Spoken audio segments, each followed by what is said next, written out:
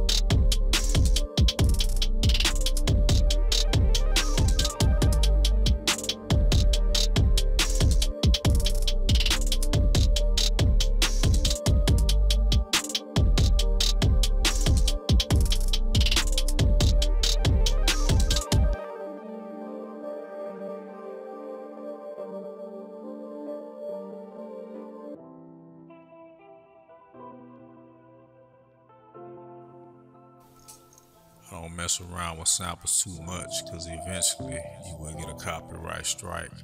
I'm all about trying to create, you know what I'm saying? Because that artist hear your song streaming or whatever, be like, hey, that's my sound. You know, I want my money. That's why I was always taught by old school producers, man. It's unique when you can create your own sound and people catch on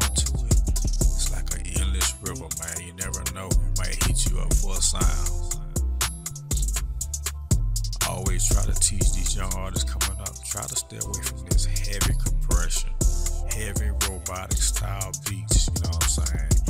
Try to create your own style because you know, I've been getting a lot of messages from producers. They want something new.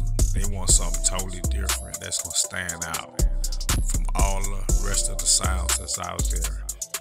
And that's your ticket to blow up in this game. Not trying to follow what everybody else is doing because I love when some of my beats are slightly off, you know what I'm saying?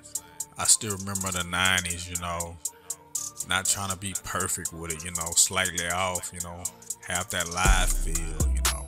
When you got a perfect beat, nothing's off, you already know something's wrong already, you know. It's like you can't even dance correctly to it because it's so robotic.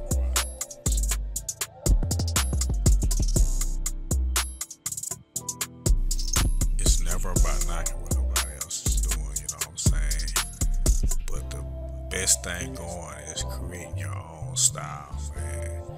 You know, hearing the same beat over and over again with a different melody, man. It's like people are catching on to that. It's like, damn, I want something different, man. You know, and like I always say, that's your ticket, man. You know, not trying to follow what the so-called industry says to do. Some people build a studio just for the love of the music, you know. Not all about trying to be in them lights and the limelight or whatever because a lot of these so-called platinum selling artists or whatever, they're broke now.